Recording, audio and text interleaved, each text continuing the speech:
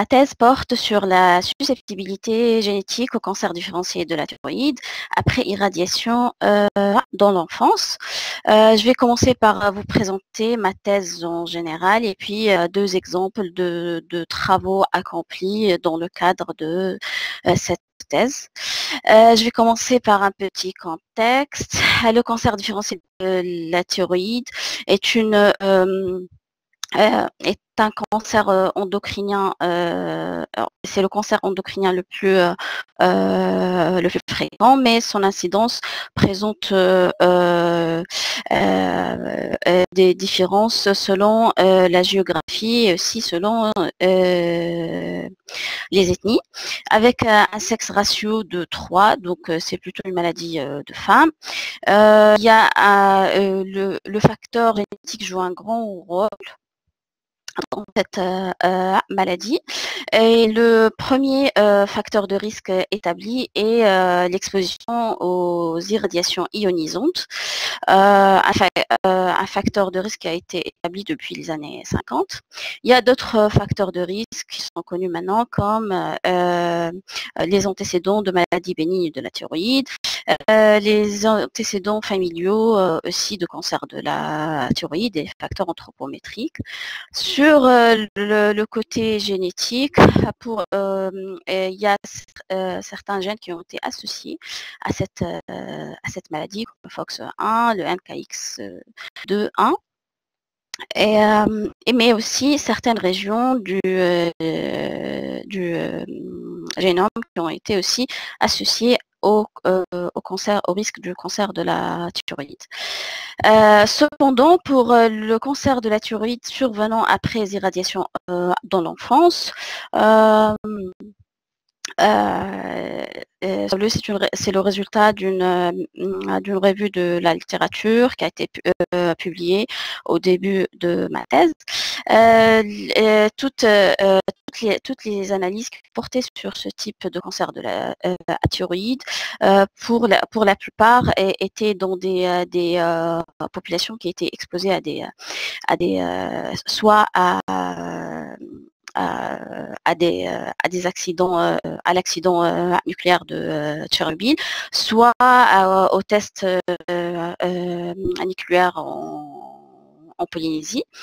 Il y a une seule, euh, une seule, une seule euh, étude qui a porté sur les irradiations euh, de, de l'exposition aux irradiations suite à des examens de diagnostic, qui est celle de Sandler, et une autre étude qui a porté sur l'exposition professionnelle des techniciens de radiologie aux États-Unis mais aucune qui n'a porté sur euh, les euh, euh, sur des patients qui, ont été traités par radiothérapie.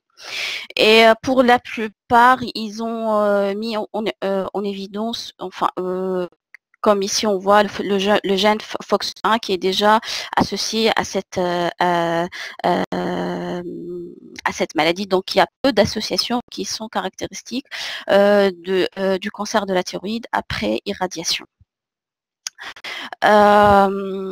Donc le, but général de, ma thèse était est, d'identifier les variants de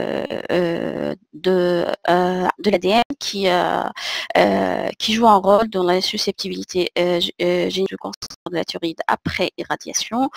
Et et, et, aussi d'identifier les, les, les voies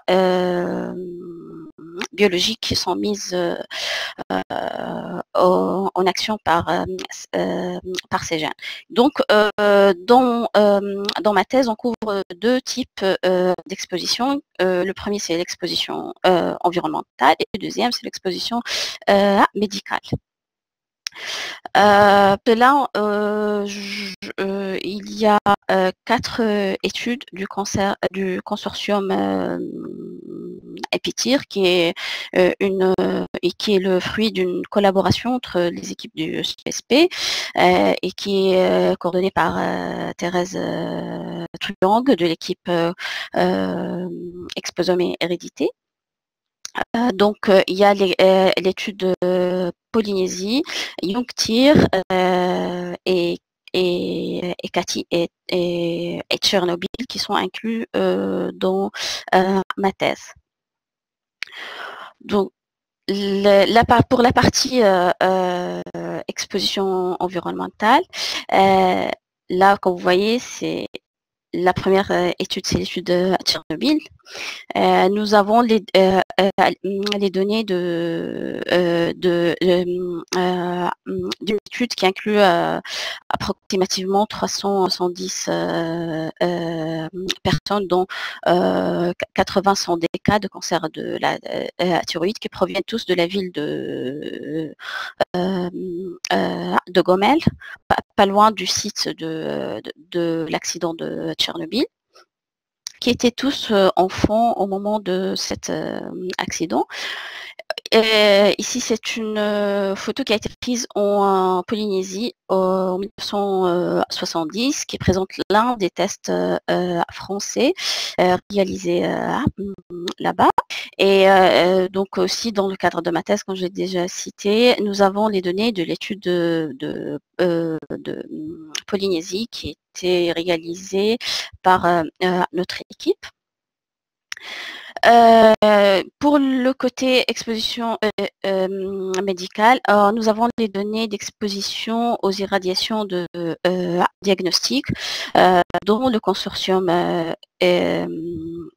EPITIR, mais Là, je parle peu des deux études euh, et, euh, Cathy. Euh, nous avons aussi les données de cohortes de plusieurs études cas témoins nichées dans des, cohortes d'enfants traités pour un cancer de l'enfance, mais aussi pour enfants qui ont été traités par radio, euh, thérapie, soit pour euh, un enjeu, soit pour euh, une teigne du cuir chevelu. C'est l'étude de Tinia Capitis Porto. Donc, Là, c'est un tableau récapitulatif des euh, différents niveaux euh, d'exposition et euh, des, aussi de et différentes données de génotypage. toutes les études ont été génotypées par la même puce en coaré épityre qui est une version euh, modifiée de la puce en coaré et adaptée au cancer de la thyroïde, et, sauf euh, pour euh, les données de la cohorte suisse et, les données de la cohorte Tinia Capitis. Aujourd'hui, je vais vous présenter les résultats de l'étude Polynésie et les, euh, résultats des éradications de, euh, diagnostic et les analyses des, des données des, des, cohortes des enfants survivants à, un cancer de l'enfance sont en cours encore. donc je vais commencer par l'étude de Polynésie. cette étude cas témoins comporte 286 cas et 417 euh, témoins euh, qui sont euh, pour la plupart des femmes. Les doses reçues à la thyroïde ont été reconstruites grâce à, plusieurs données de météorologie, mais aussi des données de alimentaires. Euh, qui ont fait cette reconstruction et euh, euh, a fait le, sujet du papier publié en, 2019. pour, la, pour les doses reçues à la thyroïde, en moyenne, sont, ce sont des doses euh, faibles, euh, qui ce sont des, doses considérées faibles. Ils sont de 1,38 mg chez les cas et 1,48 mg chez les témoins. Mais ce qui est important dans notre euh, euh, étude, c'est que l'âge de, euh, de l'exposition est, très très jeune. L'âge moyen au moment des tests de la première exposition, c'était de 12 ans. comme première étape pour explorer nos données de génotypage, nous avons réalisé une analyse, euh, une analyse en composantes euh, euh, principales qui a révélé une forte structuration au sein de notre population que vous voyez ici. et donc qui, qui, donc, nous avons exploré plus encore cette structuration. nous avons réalisé cette étape, mais cette fois-ci avec un set de références qui s'appelle Human Origins. en effet, ce set de références couvre plusieurs populations, mais le plus important pour nous, c'est qu'il y avait des données de euh, de ADN ancien de Polynésiens euh, décédés avant 1850, donc avant l'arrivée euh, des Européens en, Polynésie avant qu'il y ait un, brassage de population. donc ici, comme vous voyez, tous les, tous les pays là sont nos cas et, Ici, on a un, cluster de, de Chinois Han et de Japonais. Ici, ce sont les euh, euh, et puis tous les euh, vous voyez quand vous voyez c'est les H et les J. Et, puis les, le, le, symbole en hâte c'est c'est les anciens polynésiens. Et juste à, l'extrême à droite il y a le l'îlot de, de français. Donc on voit que les, notre population de polynésiens était plutôt une mixture des trois euh, populations, des anciens euh, polynésiens, des Han des, euh, et des Français. Donc on est passé à une autre étape. On a décidé de choisir ces trois populations de référence et grâce à l'analyse avec le programme Admixture, on a pu attribuer à chaque individu de notre population des fractions d'appartenance ethnique sur la base des données génétiques. Euh, donc c'était une analyse euh, supervisée. Et là, euh, on voit que pour chaque individu de notre population, on, a des, pourcentages d'appartenance à chacun des trois des trois groupes de de référence. Ensuite, euh, on est, euh, euh, on est passé à, l'analyse hum, d'association. Ici, c'est le Manhattan Plot. Notre modèle, c'était un modèle de régression logistique avec, on inclut les différents facteurs de risque euh, connue et la dose reçue à, la thyroïde avec les cinq euh, premières euh, composantes principales. donc notre meilleur signal venait du, chromosome 10.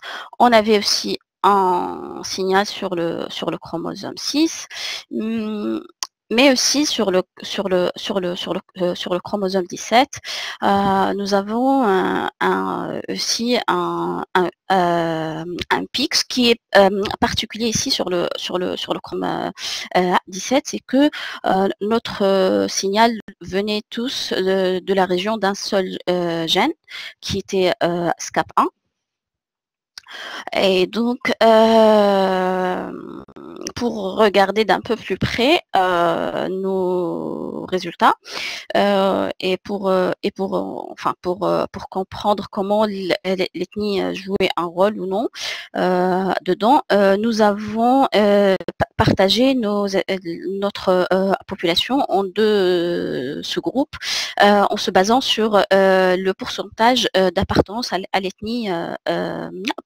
polynésienne. Pour le premier, on a pris un seuil de 55%. Et donc, nous avions un, groupe de Polynésiens qui était plus de 55% Polynésiens. Et, le deuxième groupe, c'était tout, tout le reste. Et on voyait que le signal de, nos meilleurs, de nos meilleurs SNP des trois pics allait globalement dans le, même, dans le même sens. Ici, on a dans le deuxième, dans le deuxième graphique, on a changé ce seuil à 5%. Et on avait toujours la même orientation de, de l'effet de chacun des, des meilleurs des meilleurs SNP. Donc, on, a pu conclure que voilà, l'appartenance ethnique, ethnique ne jouait pas un rôle fortement dans l'effet de dans le résultat de l'association qu'on a vu. Donc, pour mieux explorer cette euh, association, on a, réalisé une imputation régionale. Euh, pour le pic dans le chromosome euh, 10, euh, on voit que tous les variants, nos, meilleurs variants sont toujours nos, variants typés. L'imputation n'a pas rajouté d'autres variants.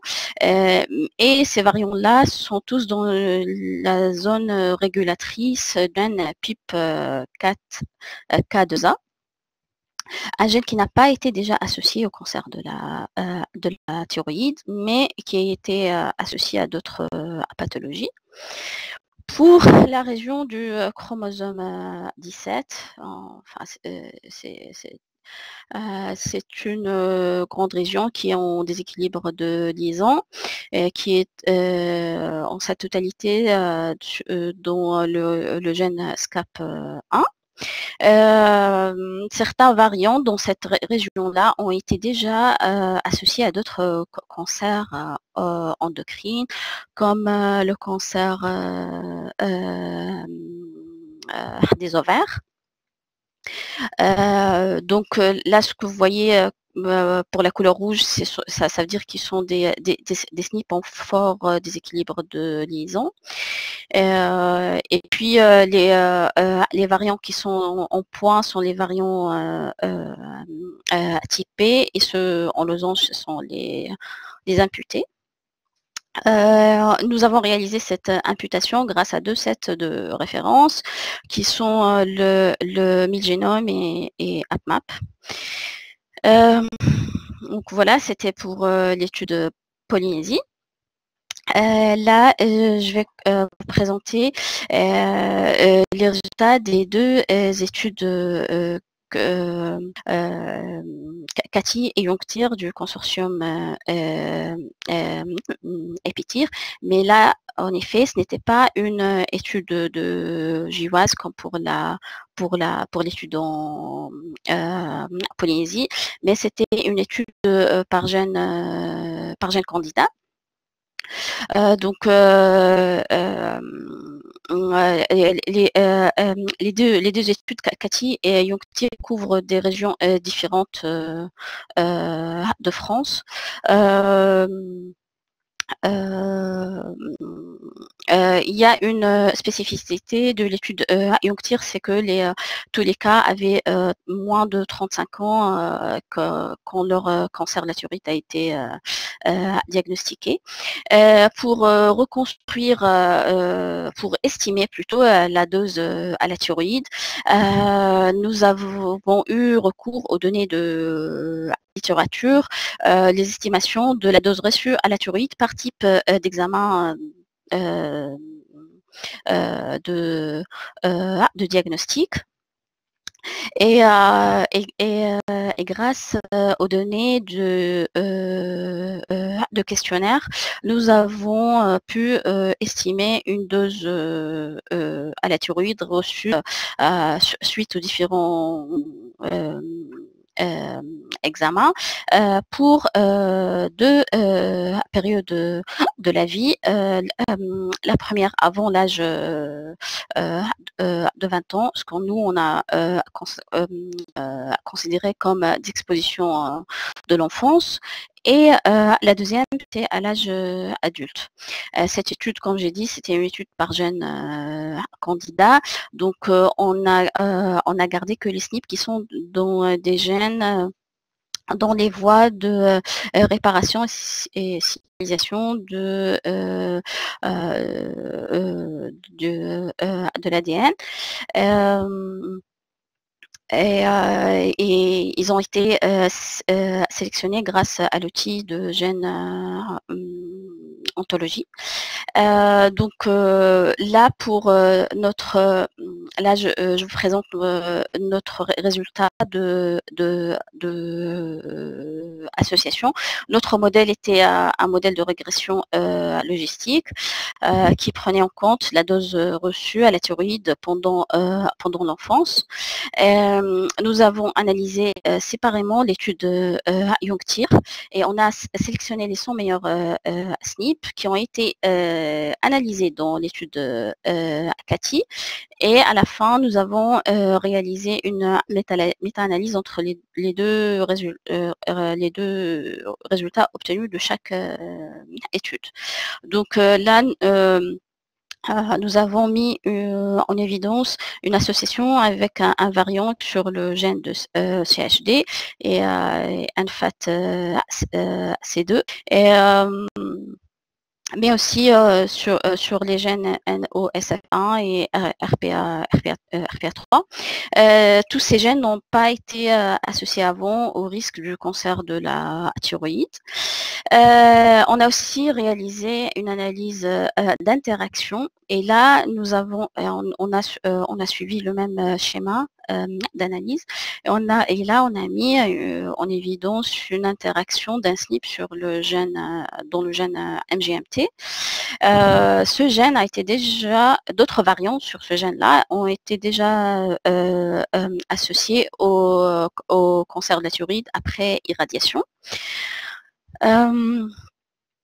Et donc pour l'étude en Polynésie française, comme tous les hits de notre GIOAS n'ont pas été trouvés par d'autres par d'autres études, il, serait vraiment très important de, pouvoir réaliser une étude de réplication.